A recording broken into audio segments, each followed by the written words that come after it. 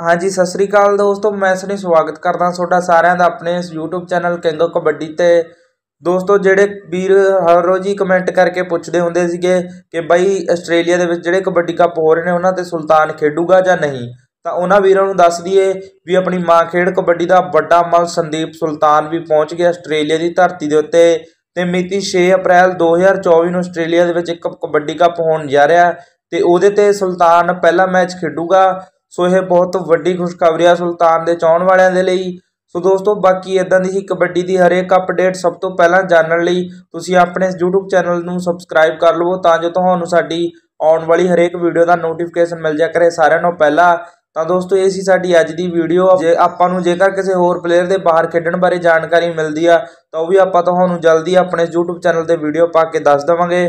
ਸੋ ਦੋਸਤੋ, ਮੈਂ ਮਿਲਦਾ ਤੁਹਾਨੂੰ ਨਵੀਂ ਵੀਡੀਓ ਦੇ ਨਾਲ, ਨਵੇਂ ਕਿਸੇ ਟੌਪਿਕ ਦੇ ਨਾਲ। ਧੰਨਵਾਦ ਜੀ।